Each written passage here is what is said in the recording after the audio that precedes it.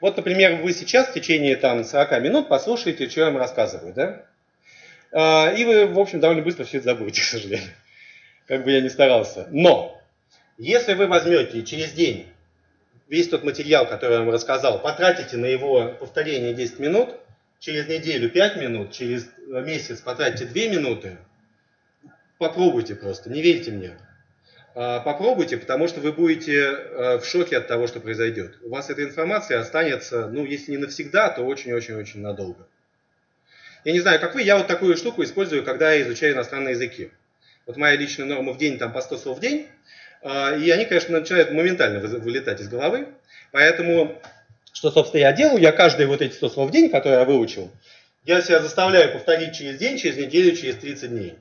И в этом случае, вы вот, вот правда не верьте, вот, вот поверьте сами, в этом случае эти слова остаются потом со мной на многие-многие годы. Обычно я, правда, ленюсь это делать, и тогда они вылетают, к сожалению. Но я знаю почему, потому что я поленился. Но если вы знаете этот секрет, его глупо не использовать. А, потому, потому что работает, вот, ну, правда, волшебно. Ну, пока что вот английский, французский, итальянский, испанский. А, довольно легко с использованием всей этой схемы. Подорвался я, правда, на арабском языке, потому что, ну, единственный момент, когда можно вообще, ну, понятно, я работаю очень много, поэтому единственный момент, когда я могу чем-то заниматься своим, это в транспорте, туда-сюда, да, вот, а, и пока я еще начинал такую учить арабский, все было хорошо, а потом, когда я дошел уже до того, что я просто читал арабские тексты, вот, я заходил в метро, открывал книжку и смотрю как-то свободно в вагоне. Понимаю, что человек, который стоит в уголке, смотрит в арабскую книжку и бормочет про себя слова, он вызывает в Москве большие подозрения, поэтому арабский я бросил. На европейский языке учится отлично и безопасно. Теперь зачем нам это нужно? Нам это нужно для того, что если мы знаем этот секрет, то мы, конечно, можем это использовать для себя, но мы это можем использовать для наших студентов. Потому что если мы правильно построим курс и с правильной частотой, которую мы теперь знаем, а может вы всегда ее знали, а, дадим тот материал, который мы правда хотим, чтобы они запомнили, то они даже не поймут, что с ними произошло, они просто запомнят. А, и обязательно, обязательно эту штуку применять. Но если, собственно, при, при, э, написал, что ну, вот в хороших курсах, там, типа того, что мы преподаем авторизованные курсы западные, э, ну, особенно в период их расцвета, там, конечно, люди, которые делали эти курсы, они знали всю эту теорию. Там очень аккуратно были вот эти все вставки с повторением вставлены вот прям в правильные промежутки. И э, реально люди запоминали. Сейчас там работает хуже команда, и вот эта штука, э, ну, ее приходится доделывать самому. А, да, давайте маленькое резюме сделаю. А, мораль. Вот, вот в двух этих как бы слайдах, да? Что первое, вам обязательно нужно делать так, чтобы люди активно вспоминали материал. И второе, вы теперь знаете, с какой частотой это нужно сделать. И причем здесь технология, а при том, что если вы используете технологию для преподавания, например, вы, ну, мы в персональном обучении используем систему дистанционного обучения, которая, впрочем, не для дистанционного обучения, а в классе она работает, да? но в нее с нужной частотой как раз вставлены тесты на повторение предыдущего материала. И люди, опять же, они не понимают, что с ними происходит, они просто запоминают материал. Гораздо лучше, чем даже люди, которые сидят в соседней с ними аудитории, и им просто человек там очень талантливо, очень хорошо рассказывает это в очной форме. Поэтому здесь технология работает отлично. Теперь следующий вопрос. Давайте забудем временно про образование, поговорим про маркетинг. А, и поймем, как мы можем, опять же, э, из исследований маркетинга научиться чему-то и применить это в образовании. Это такой классический эксперимент про варенье. Эксперимент вот какой. В супермаркете поставили два киоска таких, а, ну, промо, да, у нас сейчас тоже такие бывают. В одном из них предлагали 6 баночек варенья попробовать, бесплатно абсолютно. А в другом, а, не помню сколько там, 24 что ли, ну, в общем, можно посчитать, там честно нарисовано, как в эксперименте ровно. А, вопрос. Как вы думаете, к какому столу больше подходило народу? А давайте поголосуем. Кто за то, что э, вот к этому столу, где 6 э, баночек, больше подходило народу? Так, хорошо. А кто за то, кто, что большему количеству? Немножко, немножко больше. И вы правы. Людям очень нравится выбор. И вот, собственно говоря, статистика. 4 там, к 6 соотношение. Людям нравится выбор, они подходят к столу, где больше выбор. Теперь следующий вопрос. А как вы думаете, а купили больше э, у кого? Давайте опять проголосуем. Кто думает, что вот на этом столе, где 6? А кто думает, там, где больше, даже народ-то больше приходил? Вообще никто не думает? Да, вы правы. Но вы даже не представляете, насколько вы правы. Вот это соотношение. Здесь покупали 31%, а там всего 3. В 10 раз меньше, в 10. Люди, когда сталкиваются с э, ситуацией выбора, они, как правило, спадают в ступор и не могут выбрать, что именно им нужно. И они в этом случае э, предпочитают просто вообще не делать никакого выбора, чем, чем этот выбор сделать. Это, кстати, тоже еще одна из Нобелевских премий по экономике. Э, может, слышали э, про... Ну, собственно, из этого родилась целая э, гигантская область исследований behavioral economics, поведенческая экономика, потому что там, оказывается, еще есть хуже факты. Есть ситуация, когда вы просто сталкиваетесь с ситуацией выбора, которая не влияет вообще никак на ваше дальнейшее существование, вы просто из-за того, что вы в ситуации выбора не делаете решение, которое не, завис, э, не зависит никак от этого выбора. Ну, пример. Там проходят выборы э, московского мэра, да? А вам нужно, не знаю, там э, чего-нибудь такое сделать, совсем не связанное с выбором московского мэра. Ну, э, не знаю, сготовить там на обед чего-нибудь. Э, и выбрать там борщ готовить или щи. Так вот, как ни странно, а, то, что вы в ситуации того, что вам скоро нужно идти на выборы мэра, а, вы, скорее всего, не изготовите ни то, ни другое. А, если бы выборов мэра не было, то вы быстро бы выбрали и изготовили. Но это уже такая довольно продвинутая штука, но важно вот что. Важно то, что не надо человека ставить в ситуацию постоянного выбора, потому что он в этой ситуации очень плохо себя умеет вести. Что это значит для образования? Вот я пропущу вот этот слайд, чтобы сэкономить время. Почему-то Да, вот единственное. Могу потом, да. А вот эти товарищи, вот эти отношения предыдущие, которые на слайде были к себе, как к науке маркетинг, не хотят отнести и подумать, что дает маркетинг при наличии этих выборов, и будет ли от него толк? Ну, профессиональные люди в маркетинге, как вы знаете, дают себе, конечно, э, труд задуматься об этом. Э, я, если честно, хотел зеленый iPhone. Но они есть только белые и черные. Эти гениальные ребята в маркетинге. Поэтому это самая успешная компания с самой высокой капитализацией. А компании, которые выпускают миллион моделей, ну, они живут на другом рынке, они работают по-другому. Представили последнюю версию. Да, я не уверен, что это правильно. А,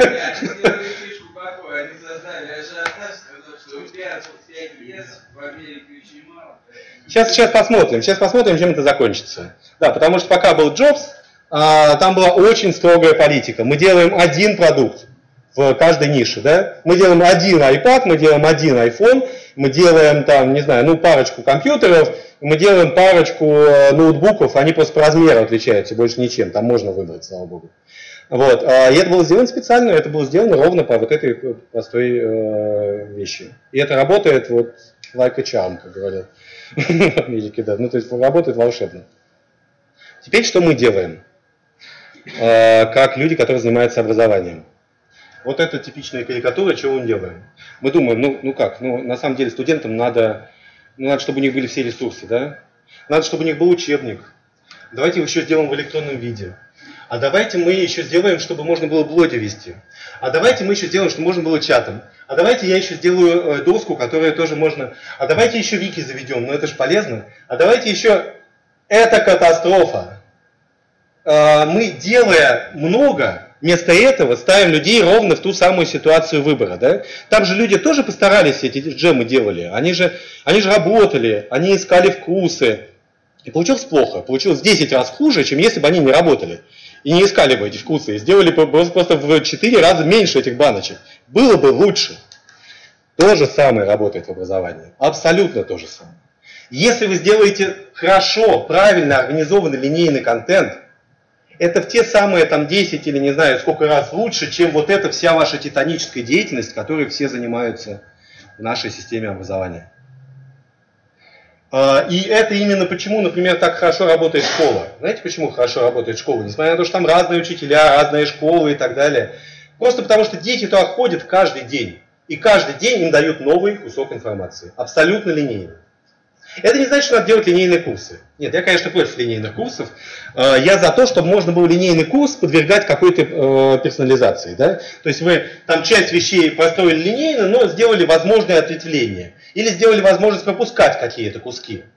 Но это не меняет общей линейной направленности э, нашего обучения. Поэтому ни в коем случае не поддавайтесь на вот эту штуку, теперь вы знаете почему. Вот. Э, а вместо этого занимайтесь тем, чтобы очень хорошо, правильно, последовательно выстроить свой контент. И это вот ситуация, кстати, в которой очень многие разработчики дистанционных курсов попадаются, они, ну, вот, это, это постоянная история. Именно в том числе поэтому э, это работает так плохо, как, ну, как мы видим, плохо работает дистанционное обучение. Сколько у меня времени? Времени у меня нет. А, тогда последняя вещь. А, последняя вещь связана вот с чем, что, ну, я вам рассказал там много про что, да, про, про то, как, э, как бы сделать так, чтобы, инструкция, э, чтобы преподавание было более индивидуализированным, как сделать так, чтобы люди учились, там, постоянно заставляя их сдавать тесты, как сделать так, чтобы они э, запоминали больше материала э, за счет того, что вы э, меняете постоянно деятельность и за счет того, что вы повторения э, устраиваете правильным образом. Э, но есть еще одна очень важная вещь, и связана она с тем, как вы это рассказываете просто. То есть как рассказать так, чтобы опять же людям было интересно, и они это запомнили. Ну, на самом деле, нам для этого нужно одну единственную вещь. Нам надо всего-то навсего их внимание в этот момент. Нам надо просто, чтобы в этот момент они нас слушали. И вот здесь на доске нарисована секретная формула нашего философского камня нашей профессии. Это вот тот самый коктейль, который э, отвечает за внимание. На самом деле в мозгу есть два важных для нас э, гормона. Э, первый из них называется дофамин, второй из них называется норадреналин. Дофамин отвечает за э, удовольствие.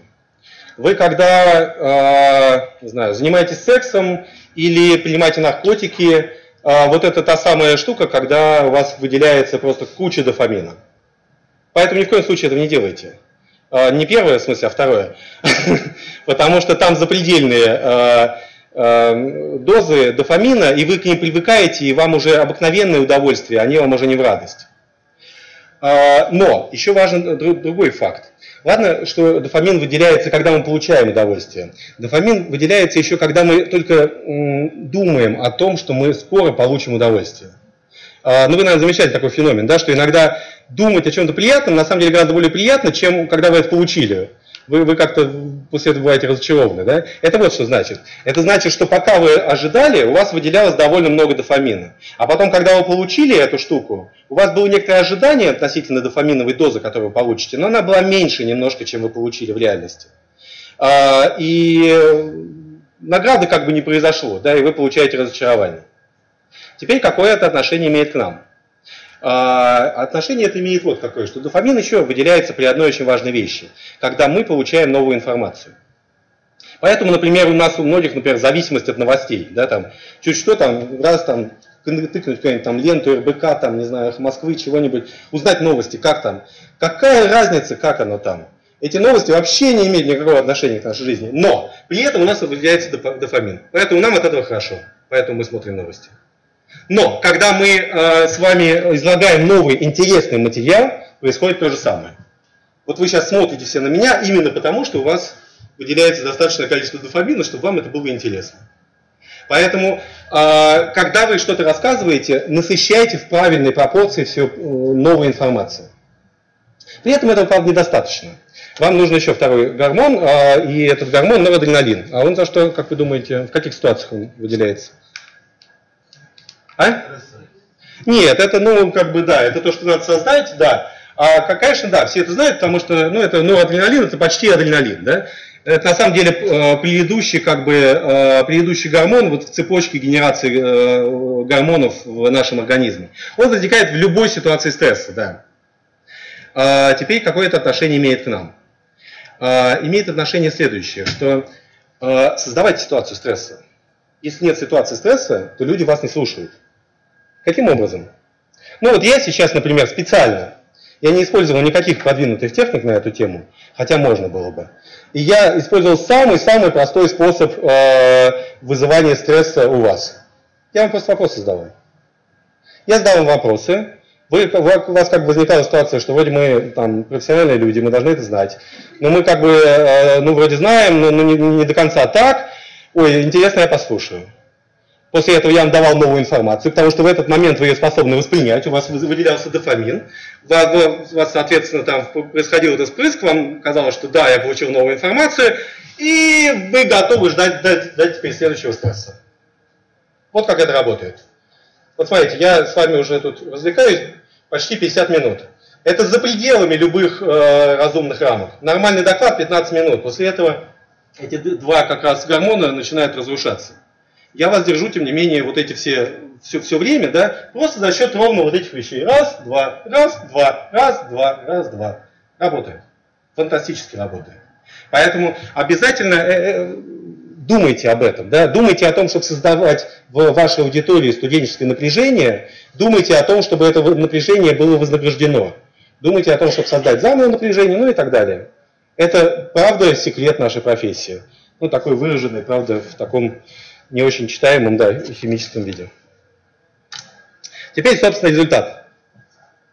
Это э, результат персонального обучения, в котором как раз вот эти все вещи, и еще много, конечно, чего из того, что я вам не рассказал, применено для того, чтобы сделать, э, ну вот, собственно, образовательный процесс более эффективным. А, немножко более подробно об этом рассказано вот в этом полисе-брифе, ну и просто если вы поищете на слова персональное обучение, найдете еще много всяких деталей. А, это сравнение э, персонального обучения с обыкновенным обучением в классе очным нормальным обучением. То есть, если вы меня, не знаю, года три назад спросили бы, какое обучение самое лучшее, я вам сказал, что, ну, конечно, вот классическое обучение очное с профессиональным преподавателем в классе. Никакого там дистанционного, ничего, это все ну, дает результат хуже. А, но нам удалось даже по сравнению с очным обучением сделать лучше. А, здесь приведены два результата. Во-первых, из анкет слушателей, которые они заполняют в конце, и, и ну, соответственно, после результата экзаменов. Во-первых, анкеты. Они оценивают свои знания до и после курса. И вот разница между тем, как они оценили субъективно свои знания после э, минус то, что было до, и есть вот эта самая субъективная оценка прогресса. Так вот, при персональном обучении им кажется, что они в два раза лучше э, получили прогресс э, в ходе курса. То есть в два раза эффективнее для них было это обучение. Но это их субъективное восприятие, мало ли они что там думают, да? Но эти студенты еще просто на 30% дают лучший экзамен. То есть вот за счет того, что вы правда, аккуратно используете все эти вещи, вы добиваетесь того, что результат лучше, чем даже самая лучшая форма обучения из всех, которые нам известны. Однако на 30%. Вполне достойный результат. Вот. Ну и даже им кажется, что преподаватель был лучше, там оборудование работало лучше. Преподаватель оборудование абсолютно те же самые. А, ну, им, наверное, казалось, что и солнце светит ярче, там, и девушки красивее. А, ну, на самом деле, это просто за счет того, что им просто больше нравится учиться в таком виде. То есть, видите, там даже люди, которые сидят в классе, они, не осознают всех этих технологий, да? Ну, как вы видели, они такие довольно э, ну, они, они не видны, да, они такие довольно продвинутые штуки, которые просто там где-то, ну, где-то работают работают, да, но подсознательно они видят, что это гораздо эффективнее, лучше, ну, и это подтверждается после результатами, они на 30% лучше дают тест. Поэтому мораль. А, во-первых, э, я вас призываю действовать так же, то есть если вы хотите улучшить качество обучения, ищите исследования, а, не верьте всему просто так, э, ищите источники. И если вы нашли такое исследование, где есть какая-то компонента, которую можно улучшить, в том числе с помощью технологии, улучшайте, потому что это даст результат. Ну а наконец, если вам просто интересно персональное обучение, как есть, мы его реализовали уже там года два назад и очень успешно проводим, это статистика по нескольким тысячам уже человек, то есть это очень хорошая такая выборка, вот, то мы готовы поделиться в том числе э, технологией, э, если интересно, там, в том числе можно просто приехать, посмотреть, как проходит занятие, потому что э, ну, там есть еще очень много, конечно, деталей, я только так совсем-совсем по верхам рассказал, что именно лежит в, в этой технологии. Спасибо вам большое, это мои контакты. А, опять же, если интересно, пишите, звоните, с удовольствием обсуждал бы все вещи, связанные с улучшением качества образования. Спасибо большое за внимание.